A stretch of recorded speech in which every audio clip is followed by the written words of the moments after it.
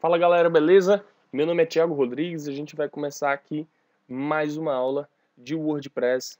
Ah, vamos construir o nosso site é, do zero, com todas as funcionalidades que a gente necessitar, tá ok? A aula passada a gente viu um pouco sobre como registrar o domínio, a gente viu um pouco não, a gente viu é, o passo a passo, não é isso? Ficou só faltando vocês continuarem o passo a passo e registrarem o domínio de vocês.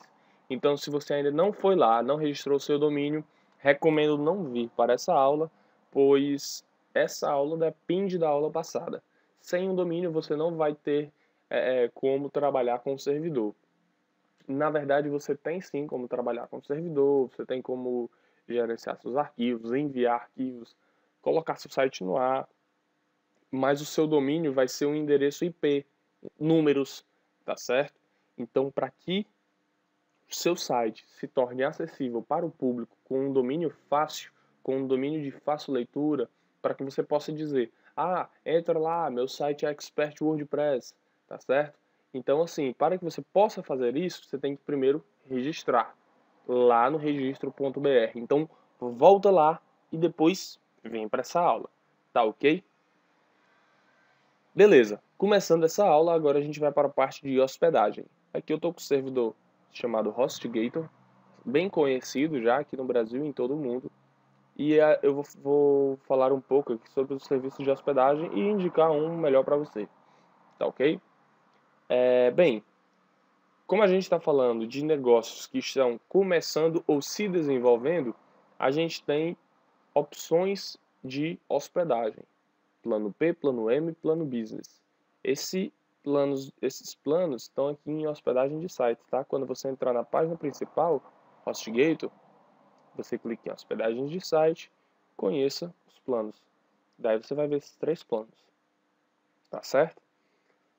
Ok. Se o seu negócio realmente está começando, se desenvolvendo é, e você quer um servidor, é uma opção escolher HostGator.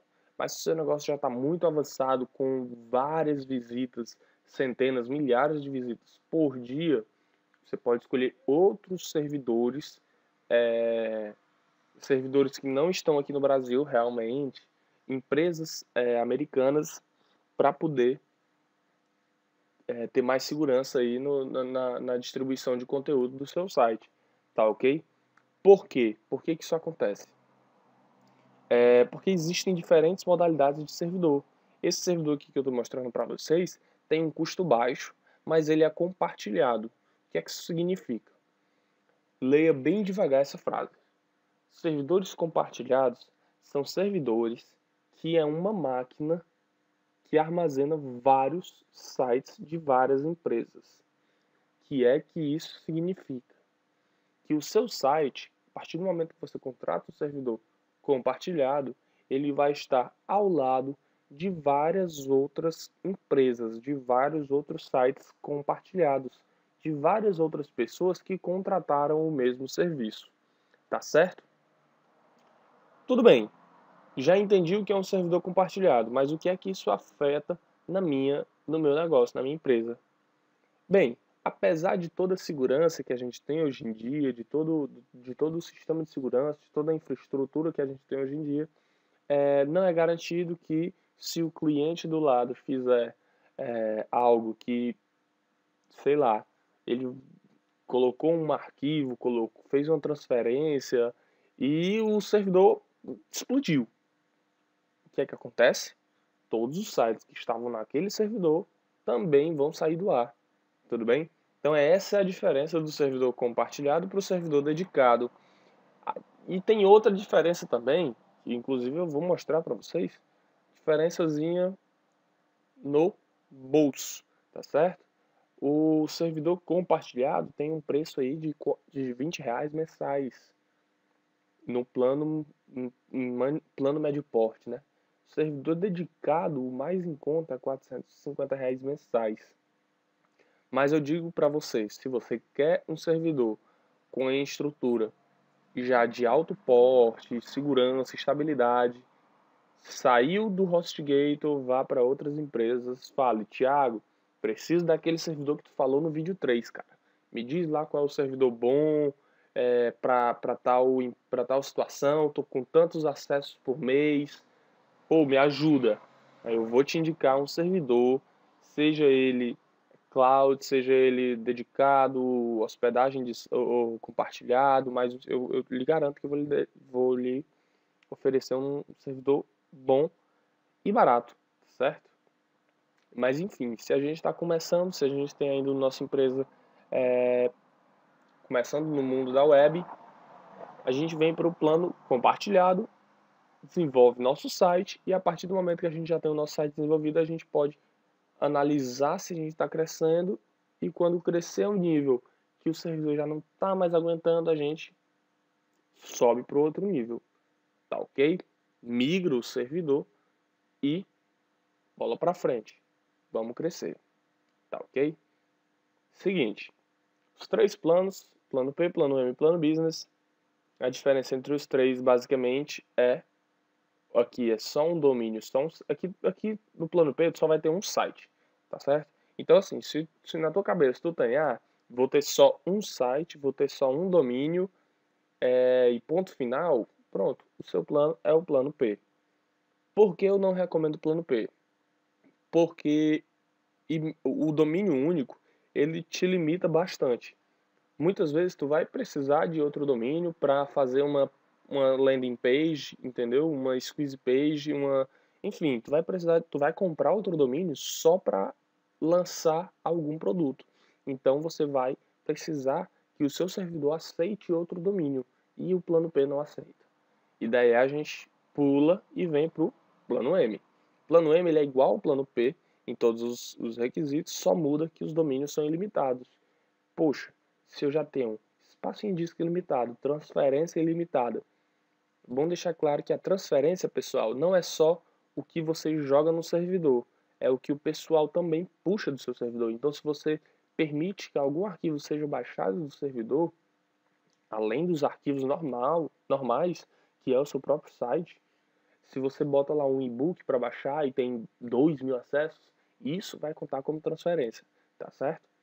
Então, assim, se você tem transferência ilimitada, você fica garantido que o seu servidor não vai te deixar na mão para é, nessa questão de transferência. Ele não tem limite de transferência, diferente de alguns outros que limitam sim a transferência. De certa forma, limitar a transferência é bom para alguns servidores, pessoal. Não pensem que por ser limitado é pior ou melhor que algum outro plano. Porque veja o seguinte, se você tem um servidor que é de alta performance e transferência limitada, tá certo? Que limita a transferência, você tem um controle. O servidor ele vai controlar melhor todos os recursos. Então você vai ter que estar com um, um, um olho sempre no servidor? Sim, você vai ter que ter sempre o cuidado para ver se a transferência não está passando ali do nível permitido. Mas a partir do momento que ela estiver chegando no nível permitido, você pode ir lá e pedir para aumentarem a transferência. Tá ok? E você aumenta a transferência, o seu, seu servidor continua estável, continua beleza. E isso é bom porque você não vai estar tá afetando o seu site em geral, você vai estar tá garantindo que o seu site esteja sempre dentro do, do previsto, sempre com a qualidade necessária. Beleza? É, transferência limitada é uma grande vantagem, você não precisa se preocupar com a transferência. Em compensação, se alguém, como esse daqui é um plano compartilhado, se alguém no seu servidor tiver uma transferência muito alta, isso pode acabar derrubando o servidor, tá certo? Porque ele não tem limite, ele não coloca uma limitação, ele não coloca um, um nível, olha, aqui você não passa. Então, isso pode afetar também na estrutura da rede. Tá entendendo a diferença aí um pouco sobre transferência limitada, transferência limitada? Não entendeu? Volta um pouquinho, dois minutos e meio atrás e escuta tudo de novo, tá certo? Não deixe passar nada em branco. Beleza. E-mail ilimitado você vai ter aqui também, tá vendo? E-mail ilimitado, ou seja, você vai poder criar quantos e-mails você quiser. Domínios ilimitados, esse é o ponto principal. Se você tem domínios limitados, o seu negócio pode ser de roupa, como a gente já tinha citado, né? Moda feminina.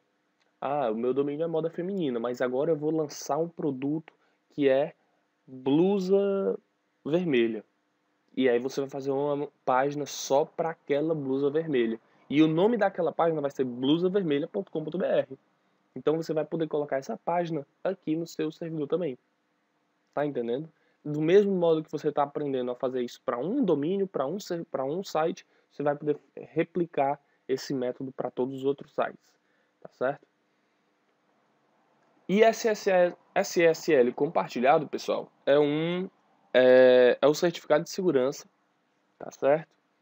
É o certificado de segurança do servidor. Como você tem um servidor é, compartilhado em um plano que é um plano de médio porte, ele lhe oferece um certificado de segurança compartilhado, ou seja, o mesmo, o mesmo certificado sendo utilizado por vários sites.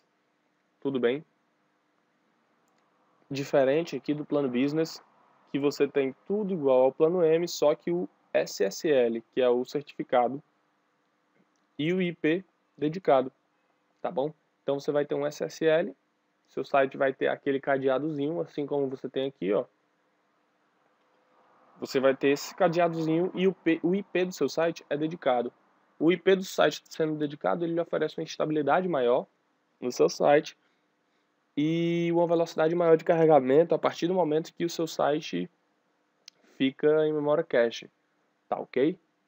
Isso aí é uma vantagem, mas vou repetir, se você quer passar para o plano business, recomendo que você já contrate, contrate outro servidor ao invés de continuar no HostGator, porque se você chegar ao ponto de ter que passar para o business, é porque você já está grande o suficiente para escolher um serviço bem mais avançado, tá ok? Beleza, entendidos? Vamos lá para o que interessa. Plano M é o plano recomendado. Eu vou colocar aqui o ciclo de pagamento mensal. Vai sair R$19,90 mensais. E vou clicar em contratar. Ele vai me dar a primeira opção, registrar um novo domínio. A gente já fez isso na aula passada, então a gente vai usar um domínio existente, tá certo? Qual é o domínio existente? Expert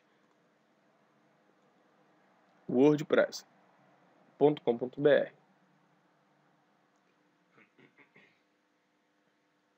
certo? expertwordpress.com.br. Daí a gente vai contratar o servidor aqui com seus dados cadastrais. Colocar os seus dados, e-mail, senha, confirmar senha, nome, sobrenome, CNPJ e por aí vai. Você vai fazer o pagamento por cartão de crédito, libera na hora e vai ganhar clicando aqui em eu li e concordo, você vai receber na hora no seu e-mail seu acesso e os dados do servidor. Beleza? Aqui a gente vai ficando e a gente se encontra agora para falar sobre os dados do servidor e como configurar o seu site dentro do servidor. Beleza, pessoal? A gente se vê e até a próxima. Qualquer dúvida, ah, esqueci de avisar, né? Qualquer dúvida, deixem no grupo no Facebook ou é, mandem por e-mail suporte arroba expertwordpress.com.br. Tá ok? Bem, é isso. Grande abraço. Até a próxima.